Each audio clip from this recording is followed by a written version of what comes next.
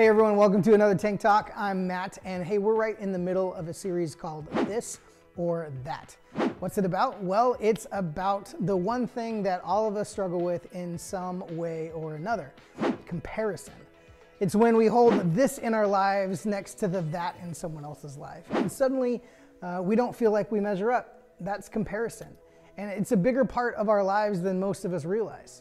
Comparing our this to their that can leave us feeling all kinds of ways disappointed, hopeless, frustrated, anxious, motivated, maybe, and sometimes even like you're better than others. But today we're going to talk about one of the most powerful feelings comparison brings out in us the feeling of jealousy.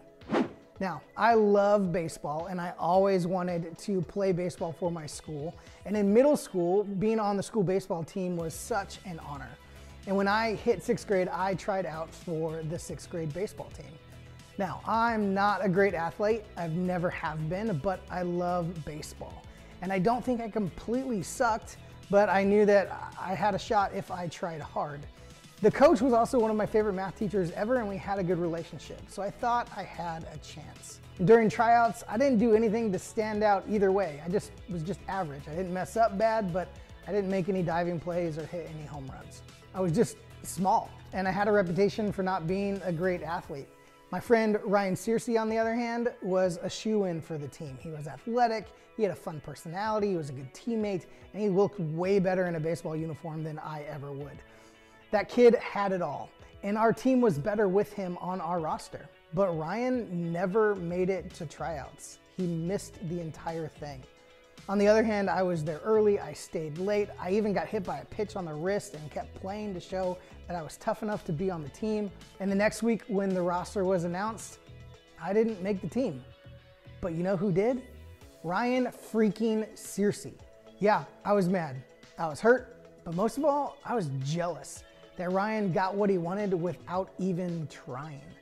I never tried out for baseball again, and Ryan and mine's friendship kind of dwindled away. You see, jealousy is a very specific type of comparison. It's what we feel when we want what someone else has, and it happens more than we may realize.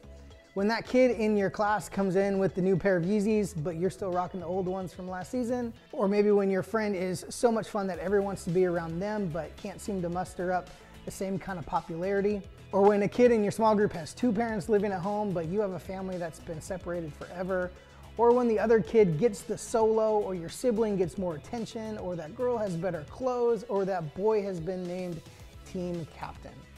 The list could go on and on and on, right? And if we really think about it, jealousy can show up just about everywhere we turn. And while it may not seem like that big of a deal at first, jealousy has a lot of potential to do harm to both the way we see ourselves and the way that we see others. For starters, jealousy can cause us to feel insecure. The more jealous we become of someone else, the more insecure and uncertain we feel about ourselves. And that insecurity can quickly lead to us becoming unhappy. Unhappy with our stuff, unhappy with our appearance, unhappy with our friend group, unhappy with our family, unhappy with our status at school. It's just hard to be happy with any part of what we have or who we are when we're letting jealousy motivate the way that we see it. Maybe we even end up angry. Like we're so jealous of what the other person has that we just get mad mad at our parents for not letting us have what we want, mad at God for not giving us the life that they have, and sometimes mad at the other person for simply having what we want. That's what it was for me. Or maybe we don't experience a lot of jealousy when we compare ourselves to others because we feel pretty good about our lives. And that's dangerous too. When we look at we'll, when we look at how our this is compared to other people's that, honestly, we might feel better than them. We might even look down on other people because we feel that they don't measure up. But the problem with comparison is that it's a cycle. While we may feel great about our lives now, it's never enough, is it? So we keep comparing and we keep measuring ourselves to others, and eventually uh, we just keep getting jealous. It just never stops. And this is where jealousy gets really tricky because it doesn't just impact us, it impacts our relationship with other people. When we're jealous with someone else, we sometimes start keeping our distance from them or we avoid them because we don't want to deal with the jealousy that we feel when we're around them.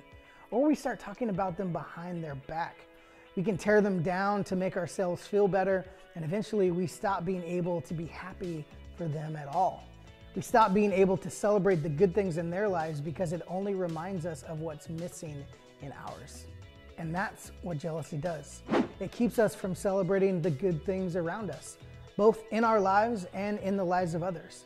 And for me, that's just not the kind of life that I want. I don't want to be unhappy simply because this in my life doesn't compare to the that in someone else's. I don't want to be the kind of friend or family member or teammate or, or member of a small group that can't be happy for someone else or myself. So, what do we do?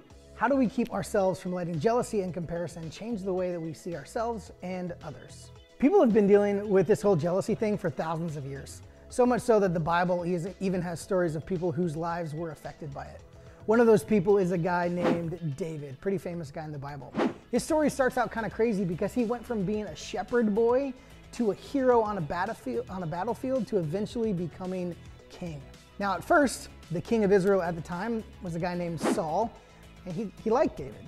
After all, David killed uh, a giant named Goliath and saved the nation during a battle, so that was a big win for Saul's army. He was excited over the victory. The people of Israel greeted King Saul with a parade to celebrate as the army returned home from battle. And that's when things started to change. You see, Saul had a major issue with the way that the people decided to celebrate. The song they sang celebrated both King Saul and David. And as king, Saul didn't want to share his fame and popularity, so take a look at his response.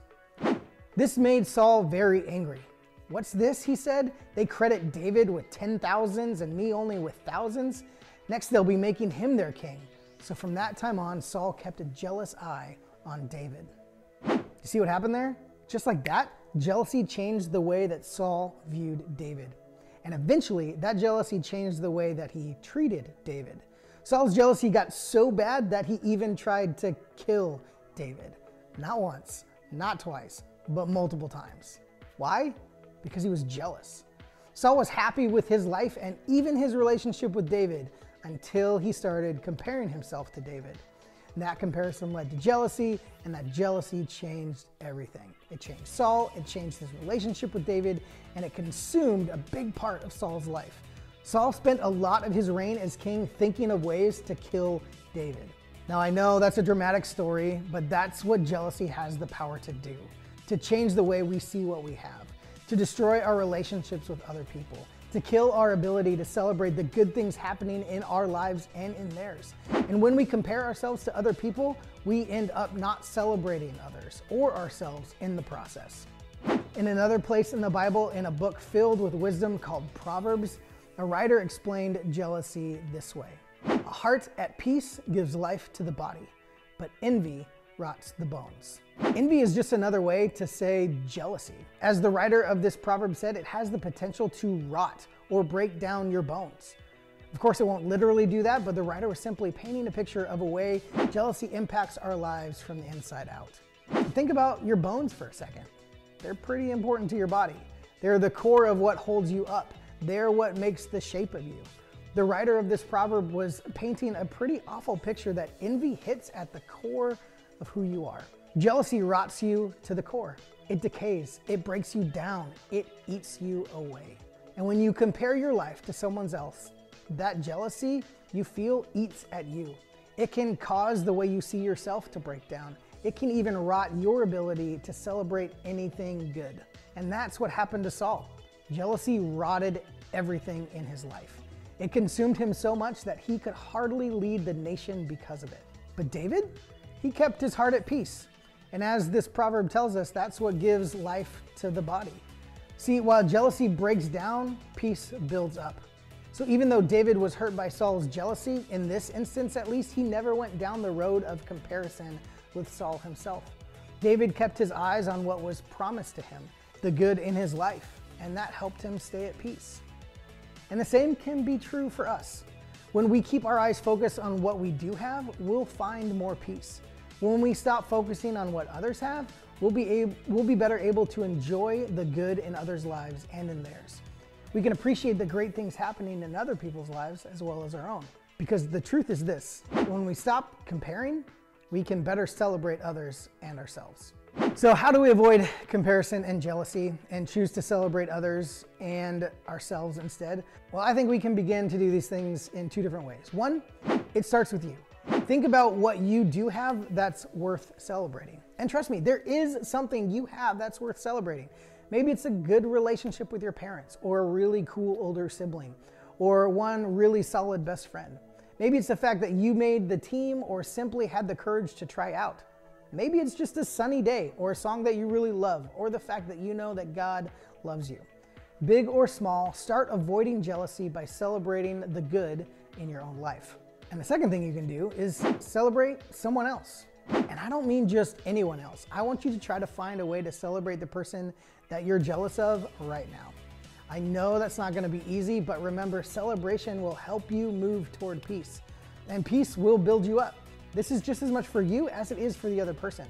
So congratulate them for getting the lead in the play, or compliment their new skateboard trick, or talk positively about them with your friends. And if all you can do is pray for them, that works too. Prayer is a great place to start celebrating and appreciating someone else. So this week, whatever you choose to do, take a step to celebrate the good in your life and the lives of those around you. Because when we stop comparing, we can better celebrate others and ourselves. So I'll leave you with this one question for you to consider this week. Ask yourself, what is one thing or person that I can celebrate? Thanks for hanging with us. We'll see you next week.